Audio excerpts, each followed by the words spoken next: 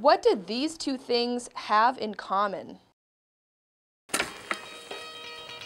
Being a Saskatchewanderer, I knew that Saskatchewan had great mountain biking trails, I knew that Saskatchewan was perfect for sailing and hot air ballooning, I even knew that Saskatchewan had a unique fashion industry.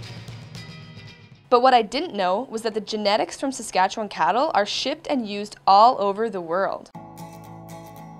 We've marketed bulls across North America. We've had bulls go all the way over to Prince Edward Island. We've had bulls go throughout the US. We've had uh, cattle go to Mexico as well. And then our genetics, so by genetics I mean the, the semen and the embryos, we've exported to South America, to Australia, throughout the world. Small town Saskatchewan and, and a big reach. I had the opportunity to visit the Howe family farm just south of Moose Jaw. I'm Julianne Howe, and we're at the Howe Family Farm, home of Whitecap Charolais and Howe Red Angus. We're a mixed farm operation, but our pride and joy is our cattle. Julianne Howe has a master's degree of science in ruminant nutrition and microbiology. As well, she and her husband Kelly both have bachelor's degrees of science and agriculture majoring in animal science. The Howe family farm works very hard to care for their cattle.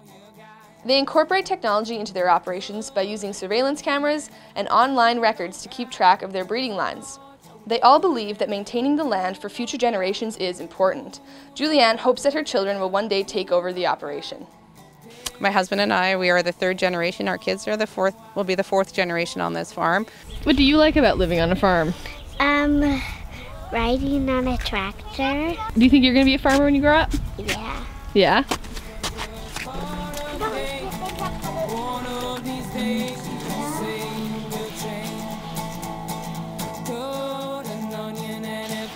I had the chance to help prepare the cattle for an upcoming sale.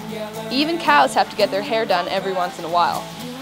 For more information, you can visit howefarm.ca or saskatchewan.ca slash agriculture.